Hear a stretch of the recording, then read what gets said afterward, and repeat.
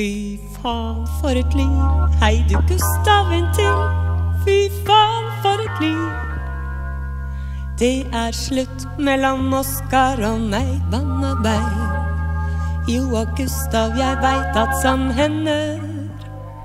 Men jeg satt der i sofaen og ante ingenting. Og så var alt forbi. Han sier at han er ferdig med meg. Men han håper likevel at vi er venner. Venner. Heis alle seil og legg ut på igjen. Ingen vet hvor Mari Knutsen vil hen.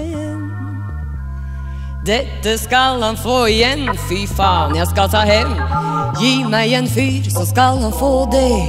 Hver fordømrede mann i hele Norges land skal få trygle Mari Knutsen om nåde.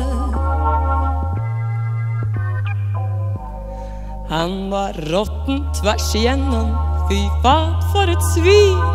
Jeg banner så mye jeg vil. Det er rart å tenke på at han en gang var min. Farvel, Marisam, så dro han. Jeg gir vel blanke, jeg. Hei du, Gustav, en dobbel brandy til. Gikk jeg fra ham, eller gikk han fra meg? Det var i hvert fall noen som gikk fra noen. Noen. Alle seil, vinden vet hvor vi drar. Vi seiler langt bort fra den driten som var.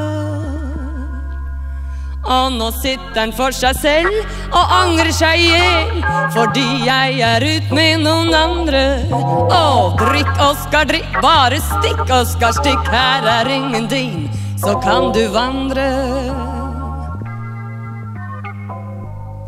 Gustav, ikke sant? To voksne folk nå kunne si alt som det er.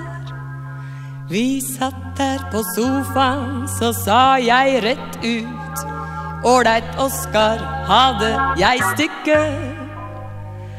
Nei, nå ljuger jeg, Gustav. Det var han som sa det, og derfor Jeg tror jeg har fått nok, jeg, Gustav, jeg tror.